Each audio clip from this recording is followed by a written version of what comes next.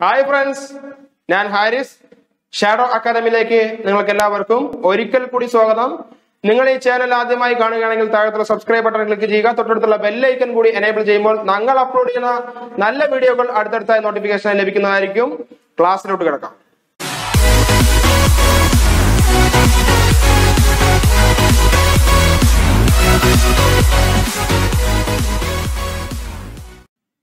നമ്മൾ ഇന്ന് ഡിസ്കസ് ചെയ്യാൻ പോകുന്ന ടോപ്പിക് സർവരായ സഖ്യവും ഐക്യരാഷ്ട്ര സംഘടനയും എന്ന വിഷയത്തെ കുറിച്ചാണ് വളരെയധികം ഇമ്പോർട്ടന്റ് ആയ ഒരു ടോപ്പിക്കാണ് ആദ്യമായി സർവരായ സഖ്യം എന്ന കാര്യത്തെക്കുറിച്ച് നമുക്ക് നോക്കാം.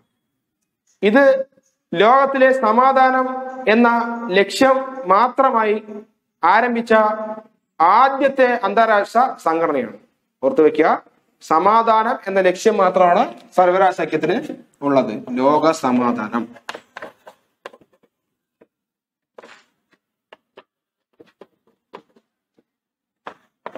ഇത് ആരംഭിക്കാനായ പതിനാലിന നിർദ്ദേശങ്ങൾ അവതരിപ്പിച്ചത് അല്ലെങ്കിൽ നൽകിയത്.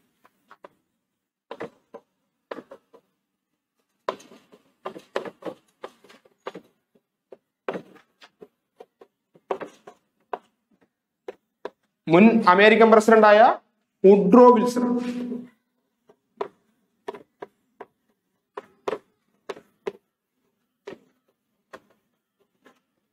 നന്നായി ഓർത്ത് വെക്കുക. പതിനാലിന നിർദ്ദേശങ്ങൾ പ്രകാരമാണ് ഇത് രൂപം കൊണ്ടത് സർവരാസഖ്യം ഇത് അവതരിപ്പിച്ചത് അല്ലെങ്കിൽ നിർദ്ദേശം നൽകിയത് ഉഡ്രോ വിൽസൺ ആണ് ഇത് പ്രകാരം ആയിരത്തി തൊള്ളായിരത്തി ഇരുപത് ജാനുവരി പത്തിനാണ് സർവരാജ സഖ്യം രൂപം കൊള്ളുന്നത്. ഇപ്പോ ലോകത്തിലെ പ്രധാനപ്പെട്ട ആദ്യമായി നിലവിൽ വന്ന ഒരു സംഘടനയാണ് സർവരാജ സഖ്യം അത് രൂപം കൊണ്ട വർഷമാണ് ആയിരത്തി തൊള്ളായിരത്തി ഇരുപത് ജനുവരി പത്ത്. നന്നായി ഓർത്തു വെക്കുക. തീയതി വളരെ പ്രധാനപ്പെട്ട ഒരു കാര്യമാണ്. ഒന്നാം ലോക മഹായുദ്ധത്തെ തുടർന്ന് ലോകത്ത് സമാധാനവും സുരക്ഷയും പുനഃസ്ഥാപിക്കാനായി തുടങ്ങിയ ഈ സർവരാസഖ്യം വേഴ്സായി ഉടമ്പടി പ്രകാരമാണ് നിലവിൽ വരുന്നത്.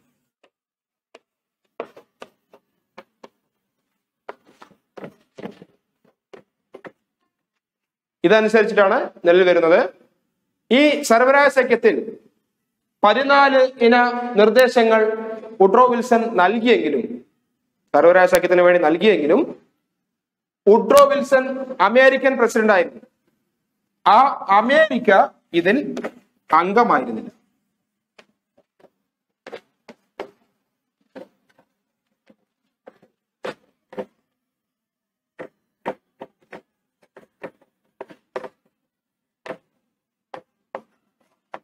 നന്നായി ഓർത്ത് വെക്കുക. വുഡ്രോ വിൽസൺ അമേരിക്കൻ പ്രസിഡന്റ് ആണെങ്കിലും അദ്ദേഹം പതിനാലിന നിർദ്ദേശങ്ങൾ നൽകിയെങ്കിലും അമേരിക്ക ഇതിൽ അംഗമായിരുന്നില്ല. പ്രധാനപ്പെട്ട ഒരു കാര്യമാണ്. ഇതിൽ മികച്ച ലോകത്തിലെ രണ്ട് ശക്തികൾ അംഗമായിരുന്നില്ല. ആ രണ്ട് ശക്തികളാണ് ഒന്ന് ജർമ്മനി രണ്ട് സോവിയറ്റ് യൂണിയൻ.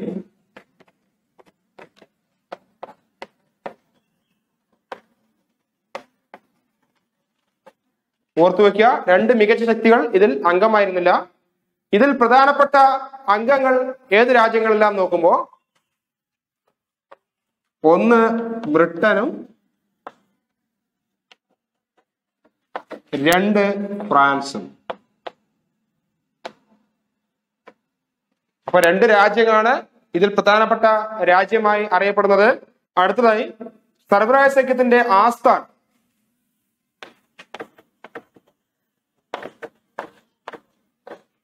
ജനീവയാണ്. ഇത് Switzerland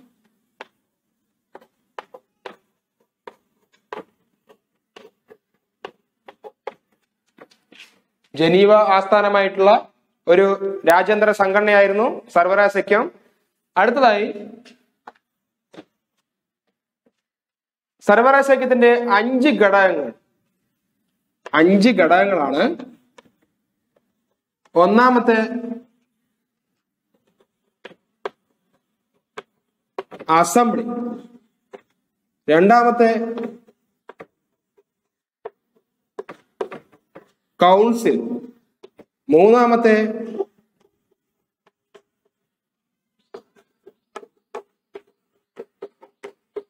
secretariat.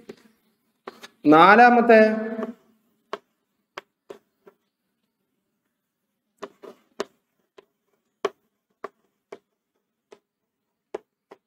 permanent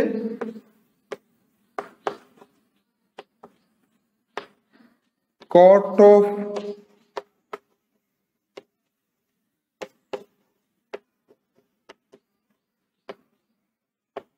international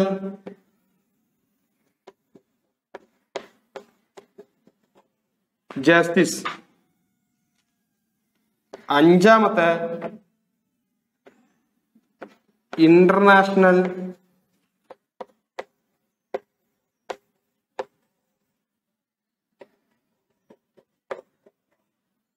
labour organisation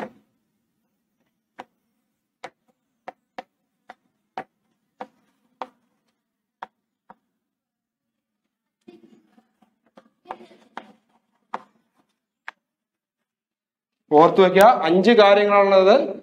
ഒന്ന് അസംബ്ലി. രണ്ടാമത്തെ കൗൺസിൽ. മൂന്നാമത്തെ സെക്രട്ടേറിയറ്റ്. നാലാമത്തെ permanent.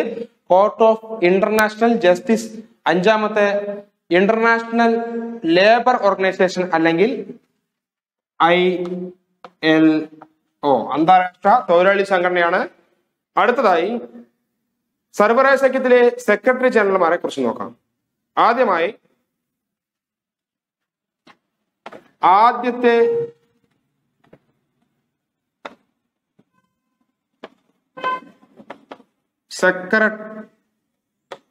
Secretary general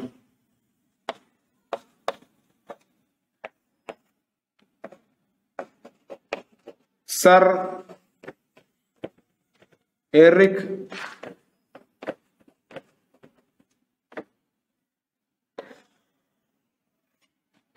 Drummond. രണ്ടാമത്തെ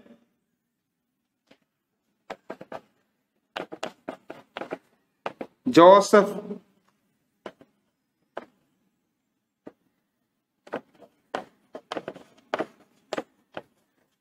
അവനോൺ രണ്ടാമത്തെ ജോസഫ് അവനോൺ മൂന്നാമത്തെ സെക്രട്ടറി ജനറൽ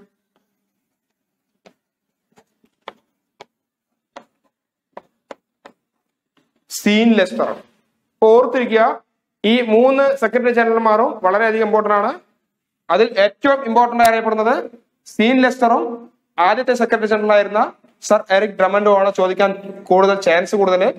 അപ്പോൾ സീൻ ലെസ്റ്റർ എന്നറിയപ്പെടുന്നത് അവസാനത്തെ സെക്രട്ടറി ജനറൽ കൂടെയാണ്. അപ്പോൾ അത് നന്നായി ഓർത്തു വെക്കുക അടുത്തതായി ആയിരത്തി തൊള്ളായിരത്തി മുപ്പത്തി ഒമ്പതിൽ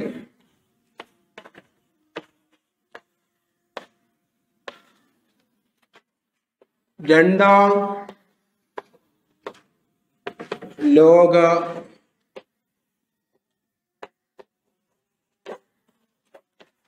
യുദ്ധം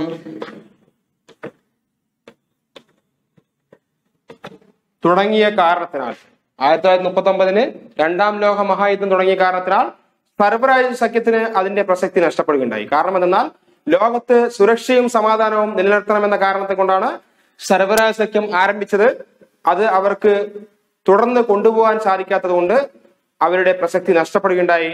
അതോടനുബന്ധിച്ച് ലോകത്ത് സമാധാനവും സുരക്ഷയും പുനഃസ്ഥാപിക്കാൻ അവർക്ക് കഴിഞ്ഞില്ല. ആയിരത്തി തൊള്ളായിരത്തി ഏപ്രിലിന് ഇരുപതിന് സർവരാസഖ്യം പിരിച്ചുവിട്ടു.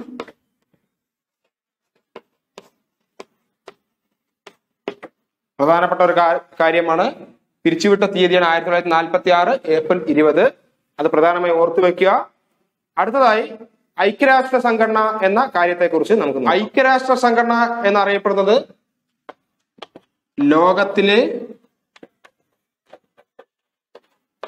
ഏറ്റവും വലിയ അന്താരാഷ്ട്ര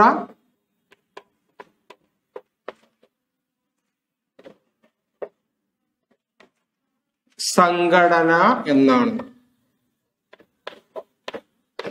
അന്താരാഷ്ട്ര സംഘടന എന്നാണ്. അടുത്തതായി യുണൈറ്റഡ് നാഷൻസ് ഓർഗനൈസേഷൻ അഥവാ യു എൻ എന്ന പേര് നിർദ്ദേശിച്ചത് ആരാണ്? യു എൻ എന്ന പേര് നിർദ്ദേശിച്ചത്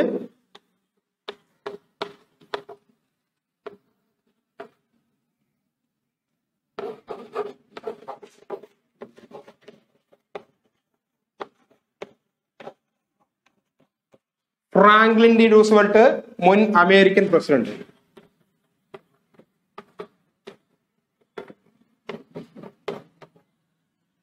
അടുത്തതായി ആയിരത്തി തൊള്ളായിരത്തി നാൽപ്പത്തി ഒന്ന് August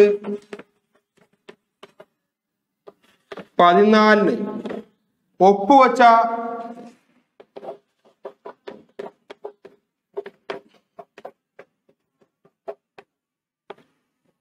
Atlantic charter. U N O തുടങ്ങുന്നതിനായി പ്രധാനപ്പെട്ട ഒരു ചുവടുപ്പ ചുവടുവെപ്പുമായി മാറി. ആയിരത്തി തൊള്ളായിരത്തി നാൽപ്പത്തി ഒന്ന് ഓഗസ്റ്റ് പതിനാലിന് അറ്റ്ലാന്റിക് ചാർട്ടർ എന്ന് തുടങ്ങിയത്. അതിൽ ഒപ്പുവെച്ച് അത് തുടങ്ങി തുടക്കം കുറിച്ചത് യു എൻ ഒ തുടക്കം കുറിക്കാനായിട്ടുള്ള ഒരു പ്രധാനപ്പെട്ട ഒരു കാര്യമായി അത് മാറി. അറ്റ്ലാന്റിക് ചാർട്ടർ ഒപ്പുവെച്ച പ്രധാനപ്പെട്ട നേതാക്കളാണ് ഒന്ന് U S president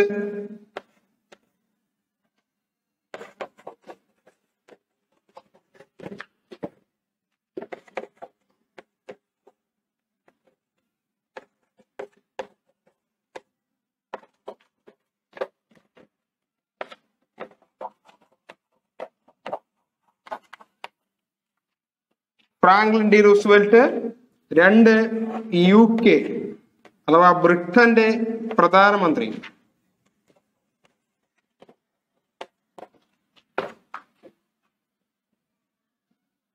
Winston Churchill.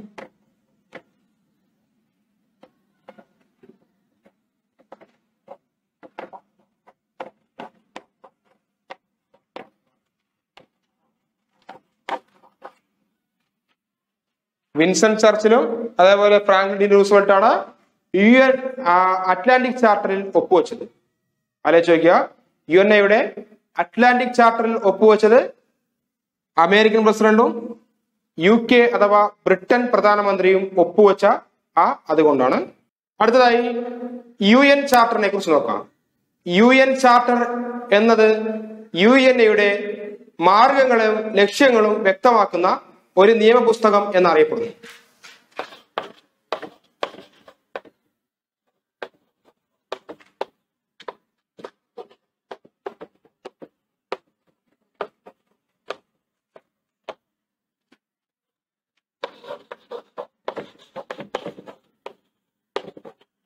U N charter. U N എയുടെ മാർഗങ്ങളും ലക്ഷ്യങ്ങളും വ്യക്തമാക്കുന്ന ഒരു നിയമപുസ്തകം അല്ലെങ്കിൽ ബൈലോ ബുക്ക് എന്നറിയപ്പെടുന്നു. അടുത്തതായി ആയിരത്തി തൊള്ളായിരത്തി നാൽപ്പത്തി നാല് October Washington D C.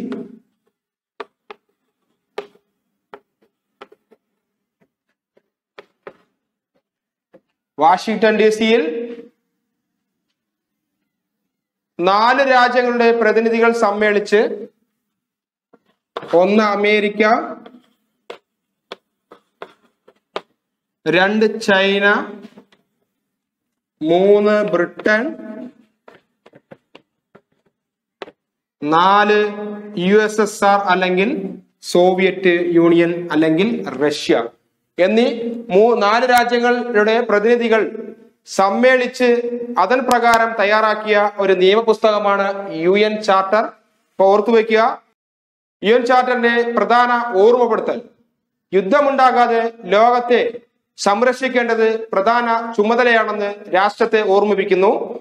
ഓരോ രാഷ്ട്രത്തെയും അത് യു എൻ ചാർട്ടർ ഓർമ്മിപ്പിക്കുന്നു. അപ്പൊ അത് നന്നായി ഓർത്തു വെക്കുക അതിന്റെ പ്രധാനപ്പെട്ട ലക്ഷ്യം എന്നറിയപ്പെടുന്നത് യുദ്ധമുണ്ടാകാതെ ലോകത്തെ സംരക്ഷിക്കേണ്ടത് രാഷ്ട്രങ്ങളുടെ ചുമതല എന്ന് യു എൻ യുടെ യു എൻ ചാർട്ടർ ഓർമ്മപ്പെടുത്തുന്നു. അടുത്തതായി ആയിരത്തി തൊള്ളായിരത്തി നാൽപ്പത്തി അഞ്ച് ജൂൺ ഇരുപത്തി ആറിന് അമേരിക്കയിലെ സാൻ ഫ്രാൻസിസ്കോയിൽ വെച്ച് അൻപത് രാജ്യങ്ങൾ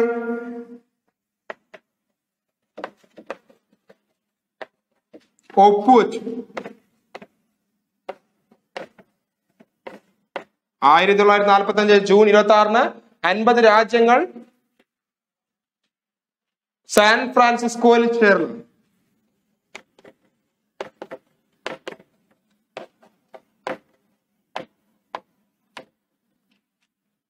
ആ സമ്മേളനത്തിൽ വെച്ച് ഒപ്പുവെക്കുകയുണ്ടായി. അതിന്റെ അടിസ്ഥാനത്തിൽ യു എൻ ചാർട്ടർ നിലവിൽ വന്നു.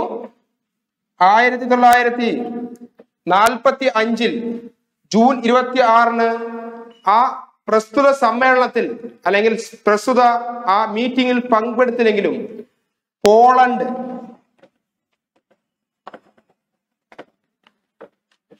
അൻപത്തി ഒന്നാമത്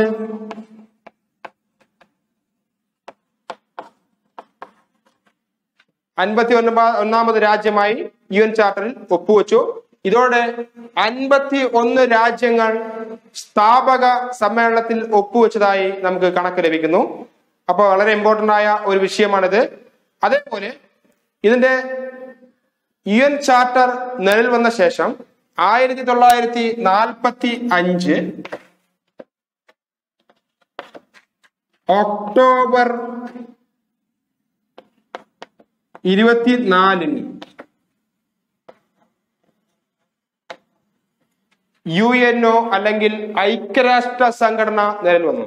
ആയിരത്തി തൊള്ളായിരത്തി നാൽപ്പത്തി അഞ്ച് ഒക്ടോബർ ഇരുപത്തിനാലിന് U N O United Nations Organisation എന്നറിയപ്പെടുന്ന ഐക്യരാഷ്ട്ര സംഘടന രൂപം കൊണ്ടു.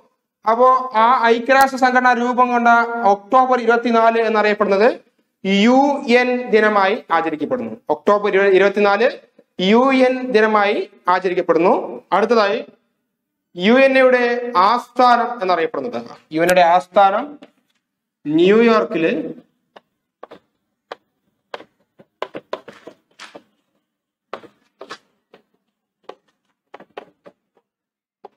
മാൻഹട്ടൻ.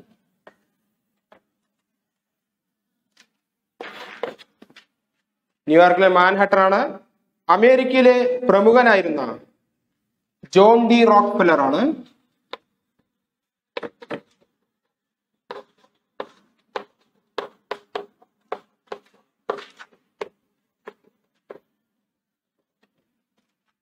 പതിനെട്ട് ഏക്കറോളം വരുന്ന അദ്ദേഹത്തിന്റെ സ്ഥലം യു എൻ ഒക്ക് ഐക്യരാഷ്ട്ര സംഘടനയ്ക്ക് സംഭാവനയായി നൽകിയത്.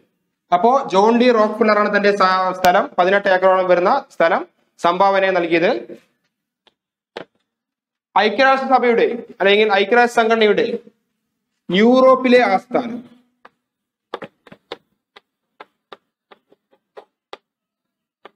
യൂറോപ്യൻ ആസ്ഥാനം എന്നറിയപ്പെടുന്നത് ജനീവയാണ്.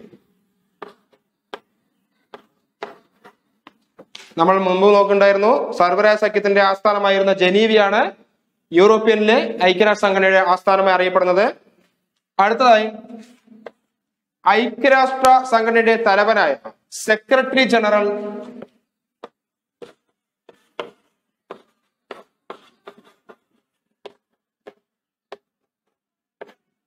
ഇപ്പോഴത്തെ സെക്രട്ടറി ജനറൽ ആണ്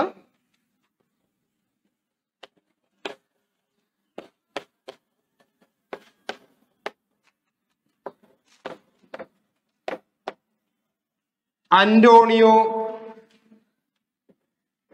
ഗുട്ടറസ്. അപ്പോ അദ്ദേഹത്തിന്റെ ആസ്ഥാന മന്ദിരം അറിയപ്പെടുന്നത് സെക്രട്ടറി ജനറലിന്റെ ആസ്ഥാന മന്ദിരം അറിയപ്പെടുന്നത്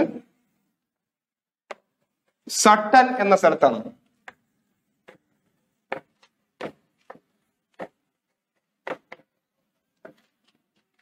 ഇദ്ദേഹത്തിന്റെ ആസ്ഥാന മന്ദിരം എന്നറിയപ്പെടുന്നത് സട്ടൻ എന്ന സ്ഥലത്താണ്. അതേപോലെ യു എന്റെ സർവകലാശാല കാണപ്പെടുന്നത്. യു എന്റെ സർവകലാശാല കാണപ്പെടുന്നത്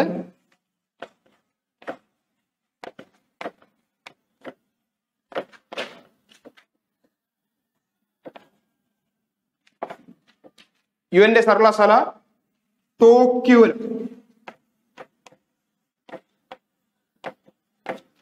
ടോക്കിയോ എവിടെയാണെന്ന് അറിയാമല്ലോ ടോക്കിയോ ജപ്പാൻ രാജ്യത്താണ് കാണപ്പെടുന്നത്. ജപ്പാൻ എന്ന രാജ്യത്താണ്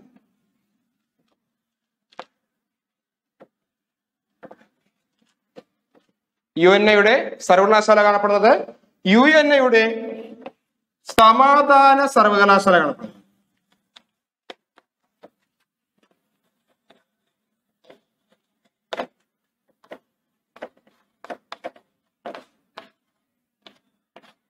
കോസ്റ്റാറിക്കയാണ് യു എൻ എയുടെ സമാധാന സർവകലാശാല കാണപ്പെടുന്നത് കോസ്റ്റാറിക്കയിലാണ്. അത് യു എൻ എയുടെ സമാധാന സർവകലാശാല കാണപ്പെടുന്നത് കോസ്റ്റാറിക്കയിലാണ്. അത് മാറിപ്പോകാതെ ഓർത്തു വെക്കുക അതിനൊരു ടെക്നിക്ക് പറഞ്ഞു തരാം. സമാധാനം കിട്ടണമെങ്കിൽ നമുക്ക് കോസ്റ്റ് കൊടുക്കേണ്ടി വരും. സമാധാനം കിട്ടണമെങ്കിൽ കോസ്റ്റ് കൊടുക്കേണ്ടി വരും എന്ന് ഓർത്തു വെക്കുക അപ്പൊ സമാധാന സർവകലാശാല കാണപ്പെടുന്നത് കോസ്റ്റാറിക്കയിലാണ്. യു എന്റെ ആദ്യകാല പ്രവർത്തനം നടന്നത്.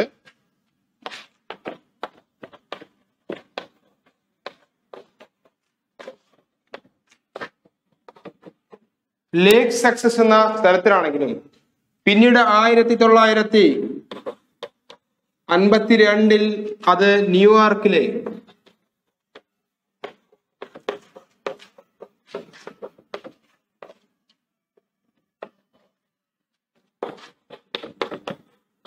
മാൻഹട്ടനിലേക്ക് മാറ്റുകയുണ്ടായി. ന്യൂയോർക്കിലെ മാൻഹട്ടനിലേക്ക് മാറ്റുകയുണ്ടായി. യു എൻ ഒക്ക് സ്ഥലം നൽകി സംഭാവന ചെയ്ത പ്രമുഖ വ്യവസായിയാണ്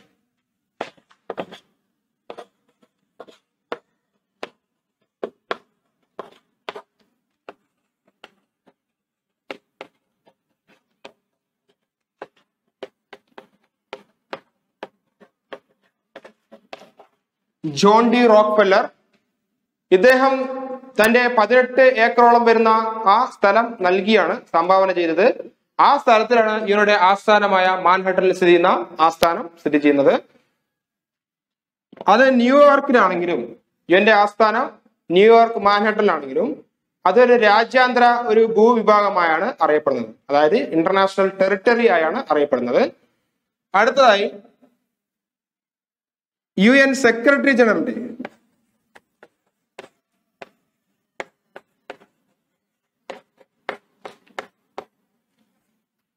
അദ്ദേഹത്തിന്റെ ആസ്ഥാനം അദ്ദേഹത്തിന്റെ വസതി എന്നറിയപ്പെടുന്നത് സട്ടണിലാണ് സ്ഥിതി ചെയ്യുന്നത്.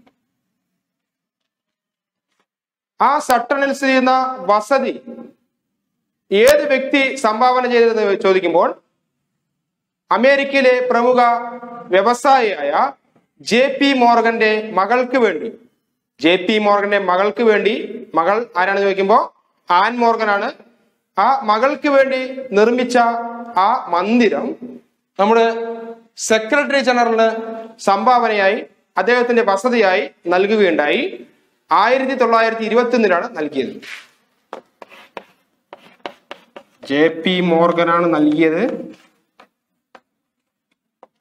അത് ആയിരത്തി തൊള്ളായിരത്തി ഇരുപത്തി ഒന്നിലാണ്.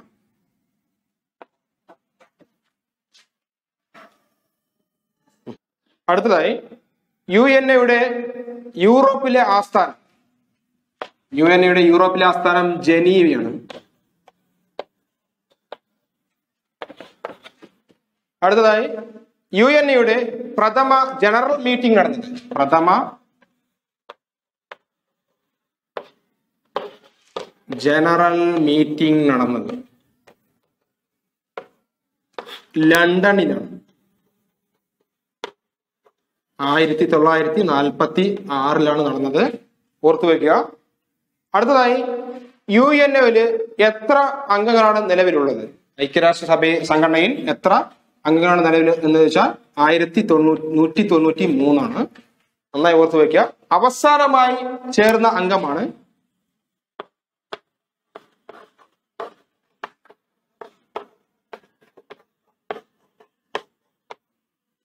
ദക്ഷിണ സുഡാനാണ്.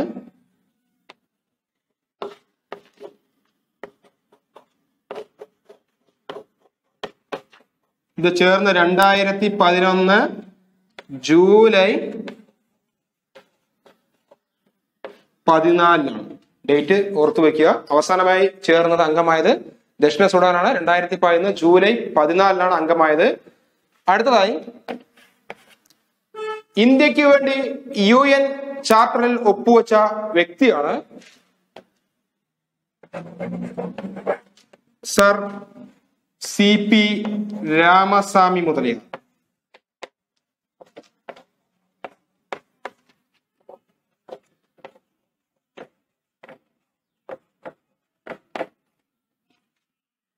പിന്നൊരു കാര്യം ഈ ദക്ഷിണ സുഡാൻ രണ്ടായിരത്തി പതിനാല് ജൂലൈ പതിനാലിന് രണ്ടായിരത്തി പതിനൊന്ന് ജൂലൈ പതിനാലിന് അംഗമായിരുന്നു ഈ അംഗങ്ങളെ നിയമിക്കുന്നത് രക്ഷാസമിതിയുടെ യു എൻ രക്ഷാസമിതിയുടെ ആ നിർദ്ദേശത്തെ തുടർന്ന് യു എൻ പൊതുസഭയാണ് അംഗങ്ങളെ നിയമിക്കുന്നത് അല്ലെങ്കിൽ ചേർക്കുന്നത്.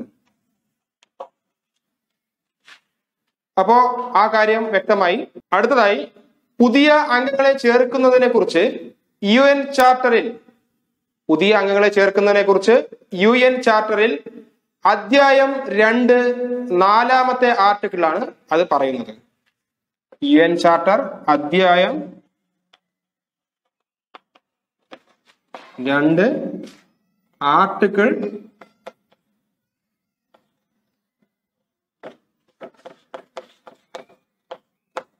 നാലിലാണ് പുതിയ അംഗങ്ങളെ പുതിയ രാജ്യങ്ങളെ അംഗങ്ങളായി സ്വീകരിക്കാനുള്ള ആ നിയമം പറയുന്നത് അടുത്തതായി ഐക്യരാഷ്ട്രസഭയുടെ പതാകയെ കുറിച്ചാണ് ഐക്യരാഷ്ട്രസഭയുടെ പതാക നിലവിൽ വന്നത് ആയിരത്തി തൊള്ളായിരത്തി നാൽപ്പത്തിയേഴ് ഒക്ടോബർ ഇരുപതിനാണ്. ഐക്യരാഷ്ട്രസഭയുടെ പതാകയിൽ കാണപ്പെടുന്ന ചിഹ്നം നിലവിൽ വന്നത് ആയിരത്തി തൊള്ളായിരത്തി നാൽപ്പത്തി ആറ് ഡിസംബർ ഏഴിനാണ്. ഈ ചിഹ്നത്തിൽ കാണപ്പെടുന്നത് ഒലീവ് ശാഖകളിൽ കാണപ്പെടുന്ന വെളുത്ത പശ്ചാത്തലത്തിലുള്ള ഭൂഖണ്ഡത്തിന്റെ അല്ലെങ്കിൽ ഭൂപടത്തിന്റെ രൂപമാണ്. ആ യു എന്റെ പതാക രൂപകൽപ്പന ചെയ്ത അമേരിക്കയിലെ പ്രമുഖ ആർക്കിടെക്ട് ആരെന്ന് ചോദിക്കുമ്പോ ഡൊണാൾഡ് മക്ക് ലാഫ്ലിൻ അദ്ദേഹമാണ് ആ പതാക രൂപകൽപ്പന ചെയ്തത്. അടുത്തതായി ഒരു പ്രധാനപ്പെട്ട ഒരു വിഷയമാണ്. ഏത് സ്വാതന്ത്ര്യ സമര സേനാനിയുടെ നിര്യാണത്തെ തുടർന്നാണ് പതാക പകുതി കെട്ടിവെച്ചത്? യു എന്റെ പതാക പകുതിയാക്കി കെട്ടിവെച്ചത് ഏത് സ്വാതന്ത്ര്യ സമര സേനാനി? ഇന്ത്യയുടെ സ്വാതന്ത്ര്യ സമര സേനാനിയാണ് ഉത്തരം ഗാന്ധിജിയാണ്. നന്നായി ഓർത്തു വെക്കുക. ഗാന്ധിജിയുടെ നിര്യാണത്തിനെ തുടർന്നാണ് ആയിരത്തി തൊള്ളായിരത്തി നാൽപ്പത്തി എട്ട് ജനുവരി മുപ്പതിനും പതാക പകുതി കെട്ടിവെച്ച് അവർ അനുശോചനം അറിയിച്ചിട്ടുണ്ടായിരുന്നു. അടുത്തതായി യു എൻ എയുടെ ഭാഷകളെ കുറിച്ച് ഫ്രസ്ക എന്ന കോഡിലൂടെ യു എൻ ഭാഷകൾ പഠിക്കാൻ കഴിയും. എഫ് എന്ന് പറഞ്ഞാൽ ഫ്രഞ്ച്. ആർ എന്ന് പറഞ്ഞാൽ റഷ്യ. ഇ എന്ന് പറഞ്ഞാൽ ഇംഗ്ലീഷ് എസ് എന്ന് പറഞ്ഞാൽ സ്പാനിഷ് സി എന്ന് പറഞ്ഞാൽ ചൈനീസ് എ എന്ന് പറഞ്ഞാൽ അറബിക്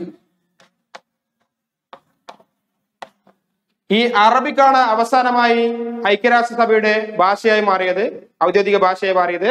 ഈ ഔദ്യോഗിക ഭാഷയായി മാറിയ അറബിക്ക് ആയിരത്തി തൊള്ളായിരത്തി എഴുപത്തി മൂന്നിലാണ് ഔദ്യോഗിക ഭാഷയായി മാറിയത്. അപ്പോൾ അവസാനമായിട്ട് ഔദ്യോഗിക ഭാഷയായി മാറിയ യു എൻ എയുടെ ഭാഷ ഏതാണെന്ന് ചോദിക്കുമ്പോൾ എ എന്ന അവസാനം എഴുതിയിരിക്കുകയാണ് അറബിക്കാണ്. അത് മാറിപ്പോകാതെ ഓർത്തു വയ്ക്കുക. അടുത്തതായി ഐക്യരാഷ്ട്രസഭയിൽ ഹിന്ദിയിൽ പ്രസംഗിച്ച ഇന്ത്യയുടെ മുൻ പ്രധാനമന്ത്രി.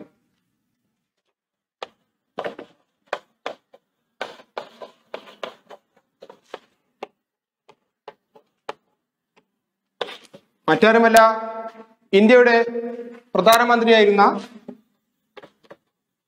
A B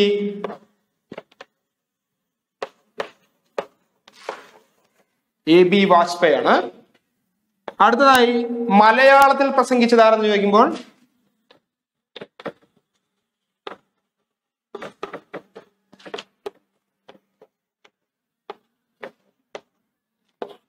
മാതാ അമൃതാനന്ദമയ്യാണ് മലയാളത്തിൽ പ്രസംഗിച്ചത്.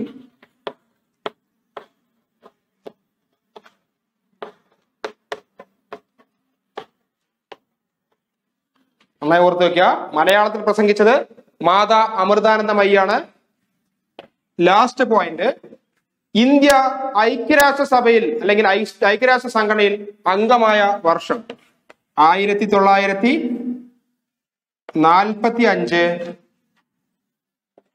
ഒക്ടോബർ മുപ്പതിന്.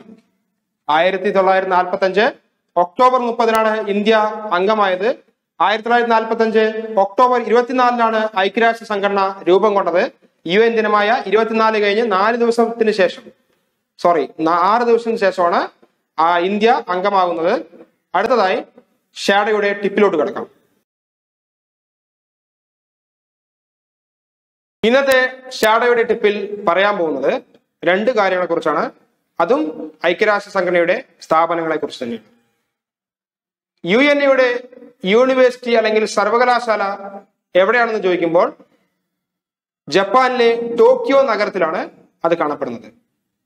പക്ഷേ യൂണിവേഴ്സിറ്റി പീസ് സർവകലാശാല യു എൻ എയുടെ പീസ് സർവകലാശാല അല്ലെങ്കിൽ സമാധാന സർവകലാശാല സ്ഥിതി ചെയ്യുന്നത് കോസ്റ്റാരിക്കയിലാണ്.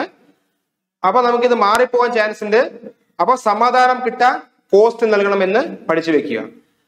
ടോക്കിയോയിൽ നിലവന്നത് ആയിരത്തി തൊള്ളായിരത്തി എഴുപത്തിരണ്ടിലും കോസ്റ്റാറിക്കയിൽ നിലവിൽ വന്നത് ആയിരത്തി തൊള്ളായിരത്തി എൺപതിലുമാണ് വർഷം ഓർത്തു വെക്കുക. ഞങ്ങൾ ഇതിന്റെ രണ്ടാമത്തെ പാർട്ട് കൂടി അടുത്തതായി ഇടുന്നതായിരിക്കും.